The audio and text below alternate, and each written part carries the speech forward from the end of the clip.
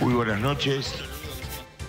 Eh, Hoy la sociedad se ha expresado democráticamente a lo largo y a lo ancho del país y de acuerdo a mi experiencia tenemos la enorme responsabilidad y misión de interpretar ese mensaje, de escuchar con mucha atención, fortalecer eh, no solamente una unidad que ha sido consolidada dentro de Unión de la Patria, sino también ampliarla para el gran desafío que se viene, que es construir eh, nuevas mayorías, precisamente para defender el interés nacional, nuestra soberanía, la agenda de la producción y el trabajo que nuestro candidato a presidente, Sergio Massa, ha puesto como un objetivo central, convocando a los argentinas y argentinos a votar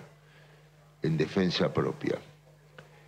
Eh, nuestra fórmula, Sergio con, con Agustín Rossi, tiene no solamente la característica de la experiencia y el valor, sino fundamentalmente de interpretar las nuevas demandas y organizarnos dentro de nuestro espacio político que bajo el nombre inspirador Unión por la Patria tiene esa enorme responsabilidad de cara no solamente al contexto nacional, sino internacional, de defender nuestro país.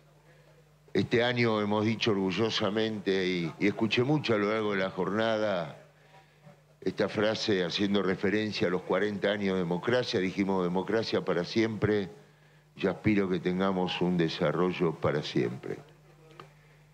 Y Sergio Massa con, con su experiencia tiene esas características de no está para comentar los problemas, sino hacerse Bueno, ahí cargo. está Daniel Scioli, Temple, con- siendo dia- Daniel Scioli, Edgardo.